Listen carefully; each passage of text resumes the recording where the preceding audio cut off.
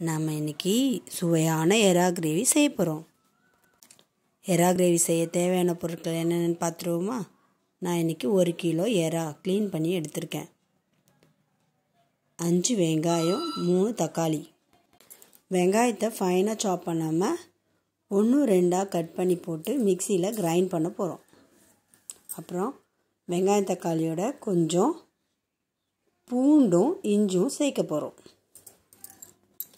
அதிலே இன்னும் கொஞ்சம் மஞ்சத்தூள் ஒரு அரை ஸ்பூன் மஞ்சத்தூளும் மூணு ஸ்பூன் அளவுக்கு மிளகாத்தூளும் சேர்த்து கிரைண்ட் பண்ண போகிறோம் நல்லா.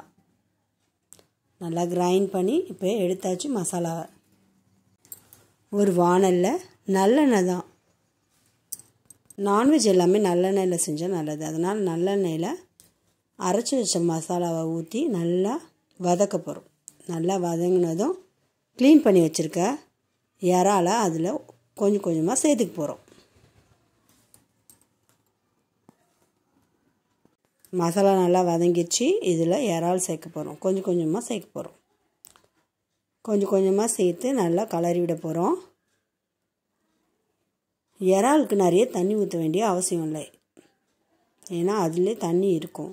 இந்த வெங்காயம் தக்காளியில் இருக்க ஈரம் அதெல்லாம் சேர்ந்து அது வெந்துடும் ஆவிலே இறால் வெந்துடும் அதனால் ரொம்ப தண்ணி ஊற்றுனீங்கன்னா ரொம்ப நேரம் ஆகிடுக்கும் கொஞ்சமாக தண்ணி ஊற்றி வேக வச்சா போதும்.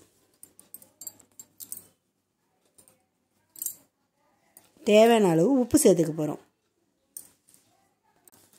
இப்போ இறாலை நல்லா மூடி விட்டு வேக வைக்க போகிறோம் கொஞ்ச நேரத்துக்கு கொஞ்சம் நேரம் எடுத்து கலரி விட்டுகிட்டே இருக்கணும். அப்போ தான் அடி பிடிக்காது. பாருங்கள் இறால் நல்லா வெந்து வருது. நல்லா கிரேவி மாதிரி தொக்கு மாதிரி ஆயிடுச்சு பாருங்கள் இந்த இறால் தொக்கை சாதத்தோட சப்பாத்தி கூட வச்சு சாப்பிட்டா டேஸ்ட்டாக இருக்கும். நீங்களும் ட்ரை பண்ணி பாருங்கள்